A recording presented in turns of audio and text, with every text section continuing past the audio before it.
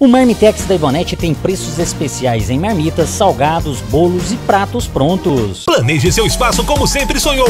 Venha dar forma aos seus sonhos em Florindo Móveis. Parcelamos em até 48 vezes. Homem no celular não respeita parada obrigatória e causa acidente.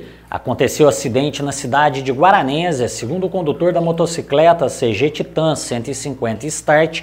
Ele seguia pela rua Aristides Torres em sua preferencial de direção quando se aproximava do cruzamento com a rua Alfredo de Carvalho e percebeu que o condutor do Gol estava conversando no celular e não respeitou a placa de parada obrigatória, momento em que, para evitar a colisão, ele freou a moto, vindo a derrapar e cair ao solo.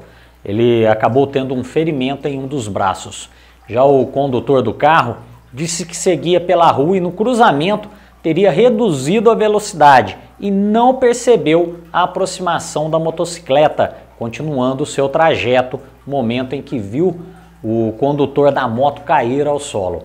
A polícia militar foi chamada para registrar os fatos e os dois condutores entraram em acordo com relação aos danos causados na motocicleta. Quer saber tudo o que acontece na região? Procure nas redes sociais MacGyver TV. Chegou a hora de vacinar-se contra a gripe. De 10 a 31 de maio, nossos postos de saúde que possuem sala de vacinação estarão abertos para lhe atender. Mas atenção!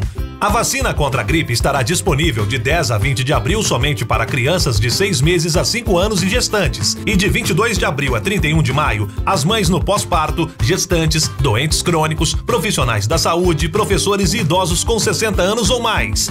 Vacine-se contra a gripe e viva com mais saúde. Prefeitura de Guaxupé. Saúde sempre em primeiro lugar.